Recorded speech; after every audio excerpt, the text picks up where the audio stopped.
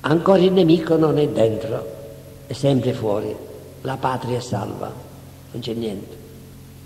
Dio interviene, Dio domina dentro di noi, la persona può essere in comunione con Dio perfettamente. Anzi, la tentazione, l'oppressione e la vessazione possono allenare la persona nella via della virtù. La purificano, sono mezzi di purificazione e di progresso della virtù.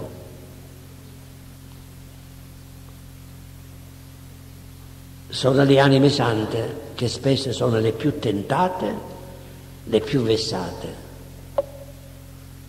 Di Giobbe sappiamo come fu tentato e vessato. Dio prova l'uomo attraverso la tentazione, l'oppressione e la vessazione. E di Tobia è detto, poiché tu eri una persona cara a Dio, era necessario che la tentazione, la vessazione venisse. Quanto più una persona è vicina a Dio, tanto più è esposta all'attacco del nemico. Per cui quando aumentano le tentazioni, le persecuzioni, le vessazioni, non dobbiamo pensare che Dio sia lontano da noi, no. Ma il nemico ci attacca per impedire all'uomo di progredire nella virtù e di essere così vissuto dallo Spirito Santo.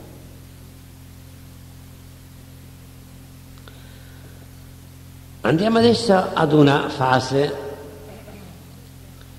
di scalfitura, una scalfitura in cui il nemico ci scalfisce, cioè scalfisce le nostre facoltà corruttibili,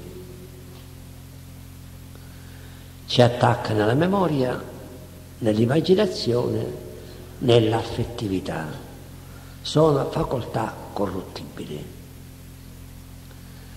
Non penetra, ma scalfisce. Per cui l'uomo è ferito, ferito, una ferita. Cos'è una ferita? Una ferita è una scalfitura che avviene nell'immaginazione, nella memoria, nell'affettività qualche volta anche del fisico, perché come vedremo i campi del nemico sono diversi e uno dei campi è anche il corpo. Una delle tentazioni può essere la malattia, una delle vessazioni può essere la malattia, cioè attraverso le prove della salute egli cerca di debilitarci per cui anche la salute fisica può essere attaccata dal nemico. Attente però, il nemico non può mettere malattie, va bene? Non può mettere malattie, perché manipola ciò che trova, non mette nulla di nuovo. Questo è un principio. Non mette nulla di nuovo ma manipola quello che trova. Per cui in noi, per esempio, manipola una tendenza, non mette una tendenza, manipola una tendenza, l'acuisce. Così trovi in noi un germe del male, lo manipola,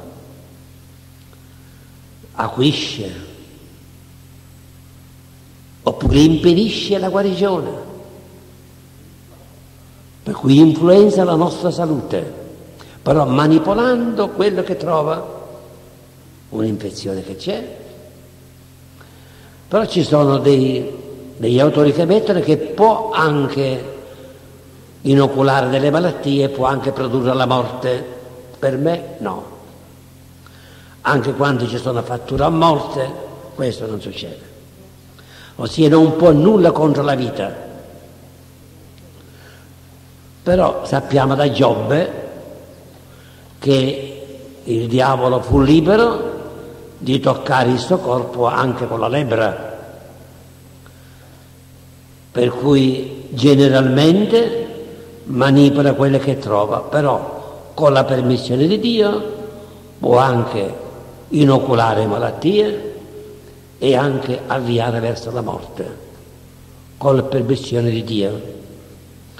Però Dio, in questo caso che dà il permesso, interviene per liberare l'uomo attaccato anche nel corpo dall'attacco del mariglio, restituendo la salute, restituendo la vita, come avvenne in Giobbe. Ma normalmente manipola quello che trova.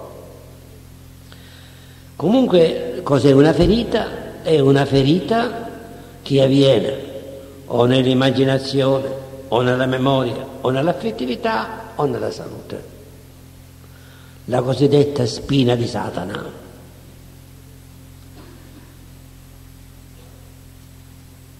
Come si guarisce dalle ferite? Si guarisce dalle ferite. Ci sono i mezzi, potete leggere nel libro come si guarisce dalle ferite ma è un modo con cui il nemico comincia a penetrare dentro, comincia a penetrare dentro, con la sua attività. Qui bisognerebbe vedere cos'è il nemico, cos'è questo demonio, cos'è questo diavolo, perché noi ce lo immaginiamo come una persona umana, no. Adesso faremo una parentesi per vedere qual è la natura del diavolo. E sì, una persona, però una persona a modo suo, analogicamente parlando.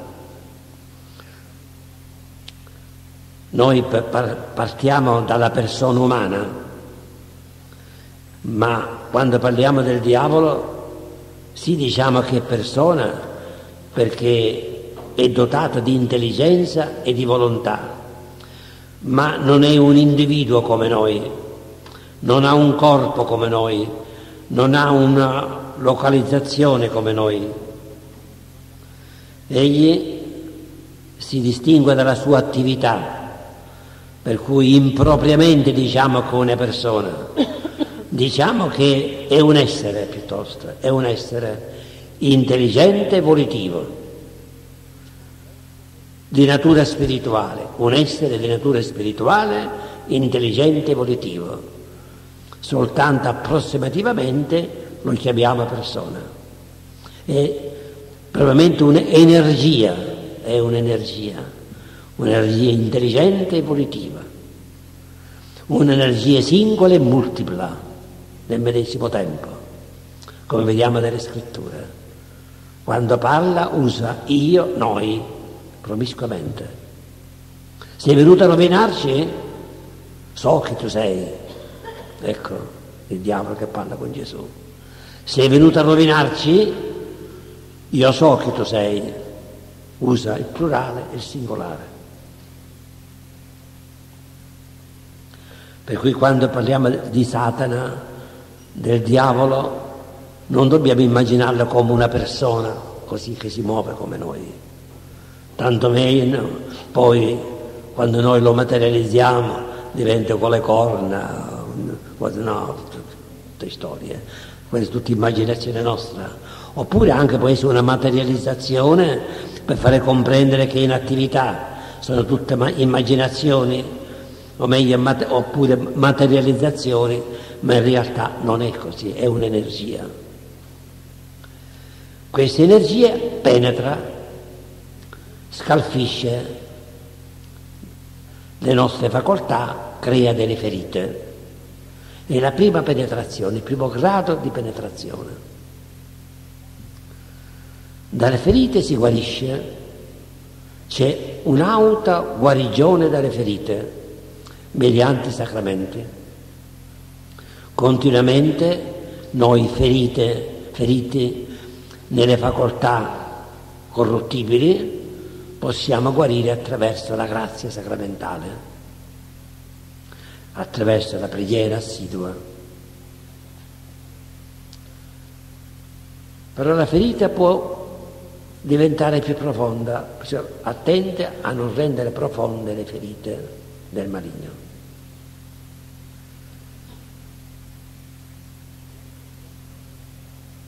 Il diavolo può ancora entrare più in profondità attraverso un legame, il legame.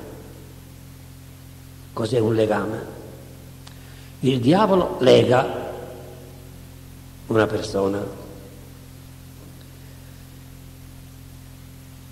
Il legame è settoriale, settoriale, settore, rende quasi eh, paralizza, diciamo, non il termine preciso, paralizza, ossia rende difficoltosa l'attività di una persona in un dato settore. Il legame è sempre settoriale, uno è legato al braccio, ma non è legato alle gambe, non è legato al collo, capito? Per usare un'immagine. Può legare un braccio, ma non leghi il braccio, lega un settore dell'attività umana.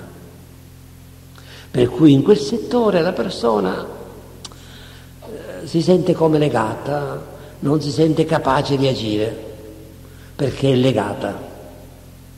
Ci sono i legami così leggeri che possono avvenire a tutti, incapacità ad agire in un dato settore.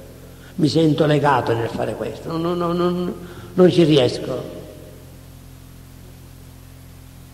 Attraverso l'autoliberazione ci si può sciogliere dai legami leggeri.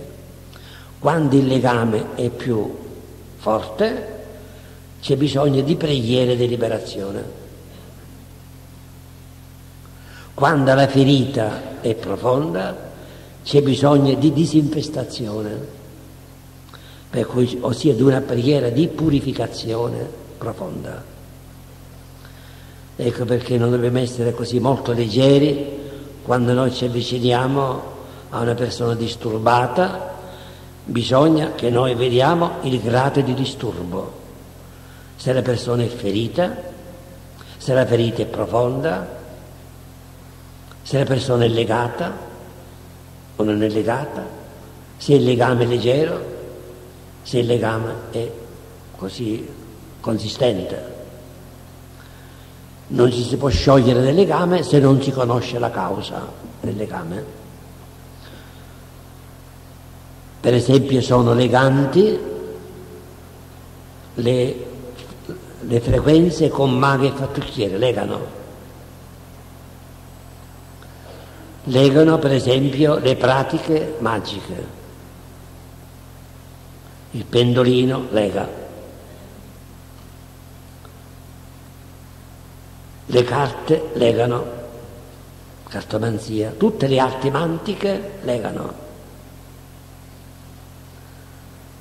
Per cui i legami si hanno o con la pratica di arti mantiche, di arti magiche, di pratiche esoteriche, pratiche spiritiche, pratiche di eh, scrittura automatica, ossia pratiche in cui c'è una certa passività nell'uomo, per cui il maligno lega l'uomo e poi gli impedisce di compiere date azioni. Nel caso di un legame bisogna conoscere la causa, bisogna rinunziare alla causa la rinuncia, per cui conoscere la causa, la rinuncia alla causa e la liberazione dal legame. Come per la ferita profonda c'è bisogno della disimpestazione della facoltà o della memoria o dell'immaginazione o dell'affettività in cui è avvenuta la ferita, che deve essere purificata per arrivare alla cicatrizzazione della ferita.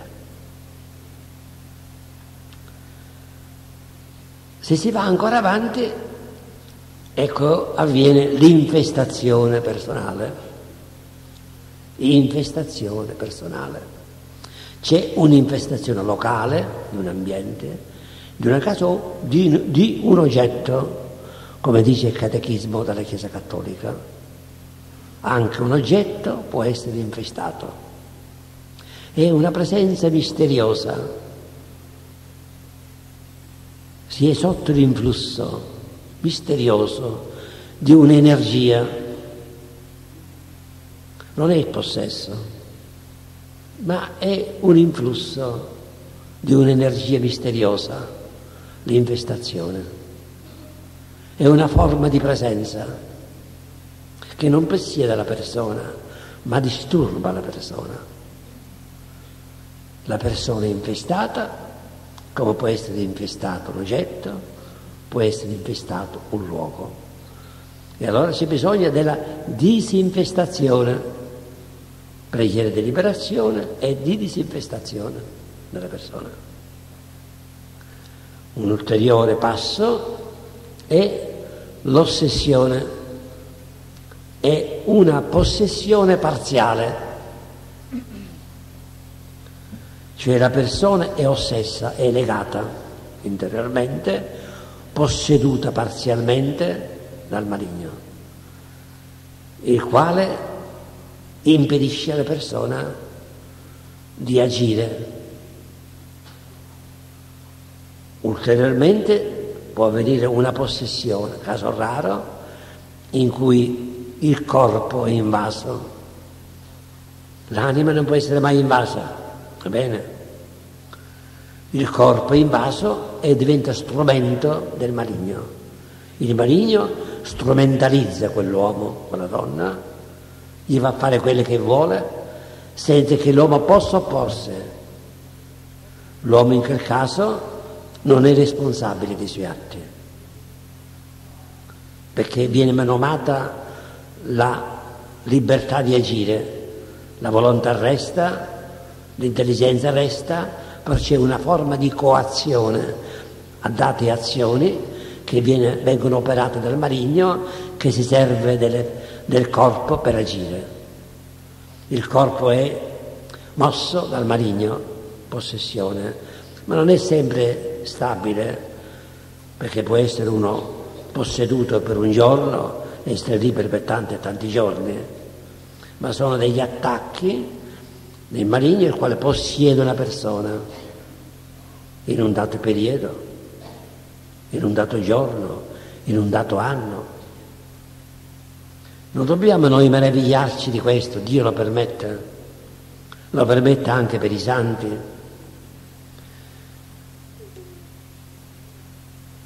Le ossessioni possono avvenire alle anime pie, il più delle volte sono per le anime pie, per le anime sante. Anche la possessione può avvenire nelle anime sante. Pensate a Don Calabria, beatificato dal Papa, questo due anni fa mi pare, che negli ultimi tre anni della sua vita era posseduto dal maligno, in dati momenti, in date giornate. Pensate alla Beata Maria del Santissimo Crocifisso, la piccola araba carmelitana che stette diversi anni indemoniata, pur avendo così intimità con Dio, pur avendo fenomeni mistici eccellenti, aveva fenomeni diabolici. Ed è un problema per, per i teologi che si interessano di mistica. Questa simbiosi, mettiamo più che simbiosi, sì, simbiosi tra manifestazione divina e manifestazione diabolica. Comunque è santa, beatificata ed era indemoniata. Quando il diavolo la rovellava erano guai. Era un'anima bella, dolcissima, fondatrice di monasteri, maestra di novizie, ma quando era indemoniata erano guai. Questo è per dire come anche le anime sante possono subire gli attacchi del maligno, fino alla possessione. Non bisogna perciò meravigliarsi quando vediamo una persona disturbata, vessata, tentata, no. Però il Signore, se noi siamo fedeli a Lui, ci dà il suo aiuto, per cui possiamo sempre controbattere l'attacco del nemico in qualunque grado, sia quando c'è la tentazione, sia quando c'è la vessazione, sia quando c'è l'infestazione, sia quando c'è l'ossessione, sia quando c'è la possessione. Mai nei santi avviene la soggezione. La soggezione avviene attraverso un patto, il patto diabolico. Ti do l'anima se tu mi dai questo, questo e questo. E allora lì è difficile sottrarre la persona alla liberazione, alla, al dominio di Satana, perché c'è, c'è un patto. Però nulla è impossibile a Dio, ma sono casi rarissimi. Bene, ho voluto farvi penetrare nel mondo tenebroso, nelle profondità di Satana, per non avere paura di lui, non avere paura di lui. Poi noi sappiamo che i demoni sono intelligenze diverse e volontà diverse. Dice San Tommaso che diavolo differisce da diavolo, come angelo differisce da angelo. Ci sono diavoli intelligentissimi, ci sono diavoli fortissimi, ci sono diavoli deboli, ignavi, così scemi, ce ne sono pure, pochi, pochi intelligenti, ce ne sono pure. C'è una gradazione nell'intelligenza e nella volontà. Sono forze, energie deboli, energie forti. Comunque sia, adesso noi dobbiamo dimenticare questo ho voluto però introdurvi per dire che in qualunque attacco che noi possiamo subire del maligno c'è sempre lo Spirito Santo dentro di noi. Soltanto quando noi cediamo volontariamente, allora facciamo penetrare il peccato dentro di noi e attraverso il peccato diventiamo schiavi di Satana ma in qualunque attacco mai si è schiavi di Satana, soltanto attraverso il peccato. Ecco perché bisogna combattere il peccato. È più pericoloso il peccato che qualunque attacco di Satana, per cui guerra al peccato, perché soltanto attraverso il peccato il diavolo penetra in noi. Anche quando ci fosse un fenomeno di ossessione, di possessione, non può entrare nell'anima, non può detronizzare lo Spirito Santo dentro di noi.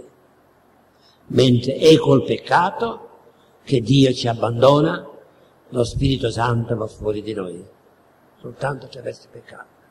Ma il diavolo non può toglierci la grazia di Dio non può sedere dentro di noi, sedere dentro di noi, l'anima è inviolabile. Il mondo soprannaturale, dove abita il Padre, il Figlio e lo Spirito Santo, non è accessibile al diavolo. Chiaro questo? Per cui nessuna paura del maligno, perché siamo a causa della grazia di Dio più forti del maligno. L'uomo è più debole del maligno come semplice creatura umana, ma l'uomo in grazia è più forte del nemico, è più forte del demonio e non dobbiamo avere paura perché sempre lo possiamo vincere in forza di colui che è dentro di noi, lo Spirito Santo. Io qui mi fermo.